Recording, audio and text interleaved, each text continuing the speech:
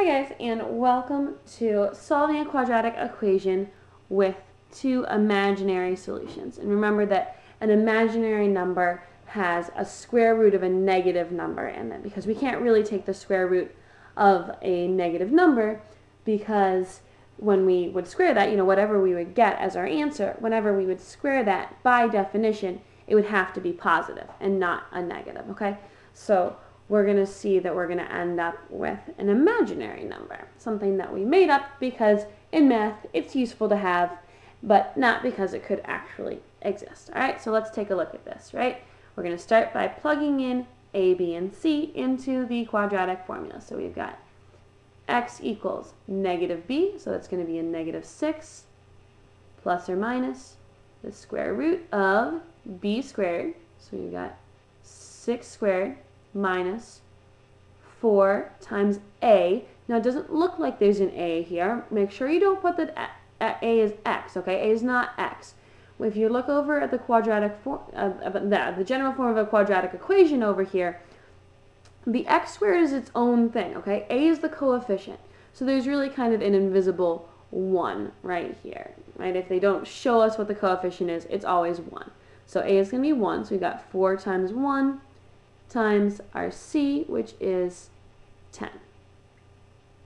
All right, so now we're going to put it over 2a, right? So we're going to have over 2 times 1. And now we simplify so that we can solve it. x equals negative 6 plus or minus the square root of 6 squared is 36 minus 4 times 1 is just 4 and 4 times 10 is 40. So we get that it's 36 minus 40 over 2 times 1, which is just 2. Okay, so let's simplify it again.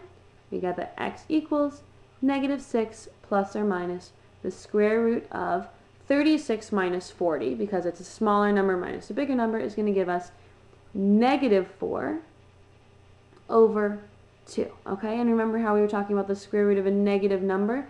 We can't take the square root of negative 4, okay? So say, you know, you're like, oh, clearly it's going to be negative 2. Well, if you do negative 2 times negative 2, right, you square it, then that would give you positive 4 and not negative 4. And so the way that we take care of that in math is just by putting a little i for imaginary. So this is going to turn into x equals negative 6 plus or minus so we take the square root of 4, so that's 2, okay?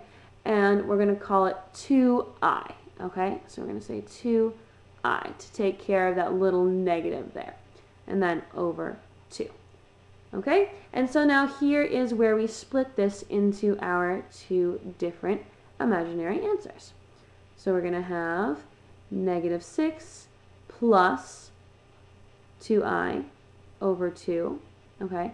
So we just divide this. This would be negative 6 divided by 2 is going to give us negative 3 plus, and then 2i divided by 2 is just 1i, so just i. So we have negative 3 plus i. This is one of our answers, is one of the solutions.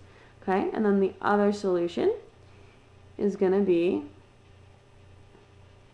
negative 6 minus 2i over 2 and again, we're going to just do the same thing here. So negative 6 divided by 2 is negative 3. Negative 2i divided by 2 is minus i. All right, and so our other answer is going to be negative 3 minus i. So here are our two answers, negative 3 plus i and negative 3 minus i.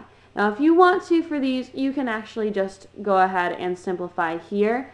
So we could, instead of writing these two answers out, if you had wanted to, you could have just divided by 2 here. So you would have gotten that x equals negative 3 plus or minus, right? So that's negative 6 divided by 2 is negative 3.